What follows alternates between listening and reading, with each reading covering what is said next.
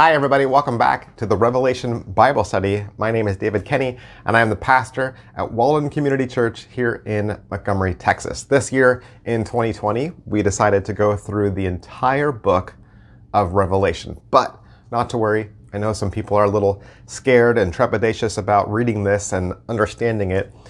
We said we're going to go through it slowly, right? Slowly in little bite sized chunks, maybe five minutes here, eight minutes here, 10 minutes at a time. So you're more than welcome to start anywhere in the study that you like. Go back and find the first one. We're still only in Revelation chapter 2. We're going to pick up at verse 12, and you are more than welcome to follow along and read with us. Revelation 2:12 begins, "To the angel of the church in Pergamum write, the words of him who has the sharp two-edged sword." That's a, a new greeting for us. The book of Revelation, um, how it begins. Jesus wants John to dictate a letter to seven different churches that are located in Turkey. And in Revelation chapter 2, we have four of those letters letters to the church in Ephesus, Smyrna, Pergamum, and Thyatira. In the letter that we saw in Smyrna, Jesus says that he is the first and last who died and came back to life. That's how he describes himself. When Jesus writes to Ephesus, Jesus says that he is the one who holds the seven stars in his right hand. But here to this church, Jesus says, I am the one who holds the sword. Now, I know for us, the sword is an image of weapons and violence, but let's kind of just examine what we already know of Scripture. In Matthew 26, one of Jesus' own disciples draws a sword to defend himself when the soldiers come to arrest Jesus. And Jesus heals the one who was cut by the sword.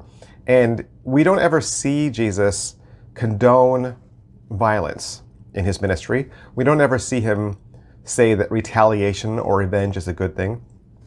Second, when we read the book of Hebrews, Hebrews 4:12 says, "For the word of God is living and active, sharper than any two-edged sword, piercing to the division of soul and of spirit, of joints, marrow, and discerning the thoughts and intentions of the heart."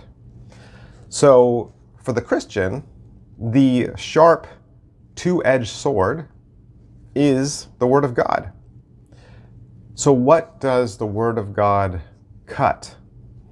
The Bible says that the Word of God is a sword that's powerful enough to penetrate, to cut, to get to the deception that's in my life. It sheds thoughts on uh, my intentions and my sin. It exposes those dark areas of my life. The Bible says that God's promises, His teachings, are sharp enough, they are living enough, active enough to penetrate all the way down to the bottom of my heart. And it shows me the cancer, the darkness that's in my life. And it helps me carefully remove those things like a scalpel. So the word that Jesus holds is not for swinging. It's not, the church doesn't use it for stabbing. It's a delicate precision instrument that removes sin. Verse 13 says, I know where you dwell, where Satan's throne is. Wow, more, more imagery, right? And that's not really a good address. You know, if someone said, Hey, where do you live? I said, Oh, yeah, I live over off of uh, Satan's throne. That's a bad name for a street. But it just says that Pergama is a difficult place to live. The community where they live and where they have their church is very anti Christian. And Revelation is really a letter that's written during a very anti Christian time period. It's not really a good time to be a believer in Jesus, and it really won't be until uh, Constantine comes along and he makes uh, Christianity the official religion of Rome, but that's not for another 217 years. So, from the time these churches in Turkey get these letters, they still have 217 more years worth of persecution and struggle. Which means if there is any sort of false teaching or any sort of darkness or anything that creeps into the faith now, Jesus really does want the church to get in there and scalpel knife, cut it away and remove it and get it out, just like a tumor, you know, just like uh, uh, a cancer spot or your, the, the fact that your doctor might be worried about a cancer spot, you know, be- better to remove it, right? Better to be safe and remove it.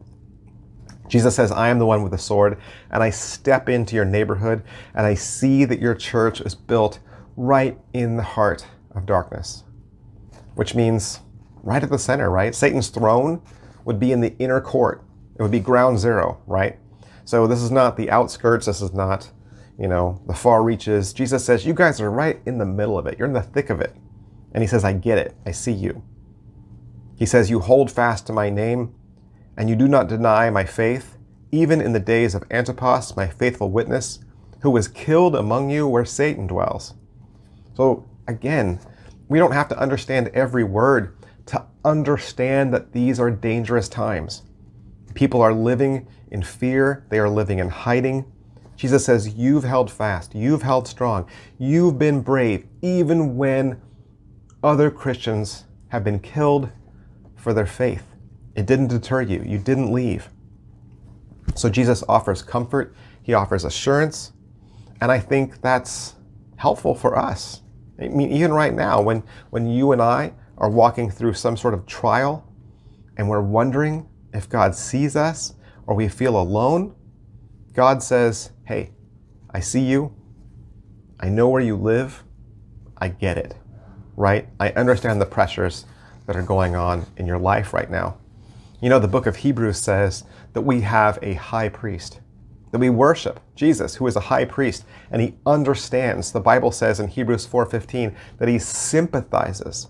He sympathizes with our weakness. Now, the word sympathizes that Jesus uses here is a Greek word, syn and pathos. And those two words together mean suffer with.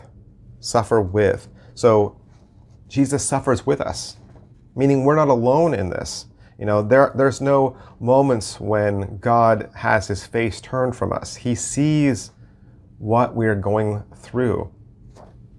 And I know that you're just watching this on YouTube right now, and I certainly don't know what you might be going through today, but I do know this God sees you.